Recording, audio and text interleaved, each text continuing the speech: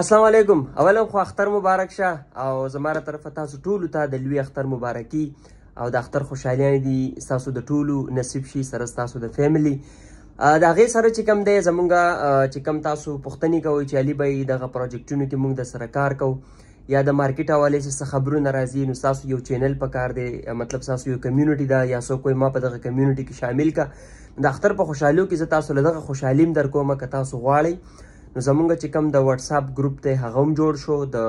چې کم زم سره ټلګرام کم چینل دی تاسو ته په کمنټ کې لینکس ملاو شي یا په ډسکرپشن کې فیسبوک کې یوټیوب کې دواړو ویډیو ګورئ نو په کمنټ کې وګورئ تاسو ته به لینکس پرووایډي دغه لینکس باندې کلیک کړئ او بالکل فری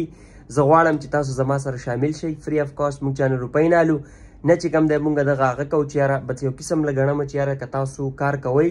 تاسو مطلب مطلب غواړئ چې یاره موږ څه وکړو نو بالکل زه لګیا یم ستاسو دپاره نور پروجیکټونه هم را روان دي په کرپټو کې ټیپ ټو ان چې کوم پروډکټ پروډکټس دي زم سره یا کوم پروجیکټس راځي یا نوي ټوکني نوي کوینونه په باینانس کې لانچ کیږي د هغې په حواله سره اپډیټ نیوز اناونسمنټ نو دا خبرونه به اول تاسو ته درسي بیا به وروسته ویډیو اپلوډ کیږي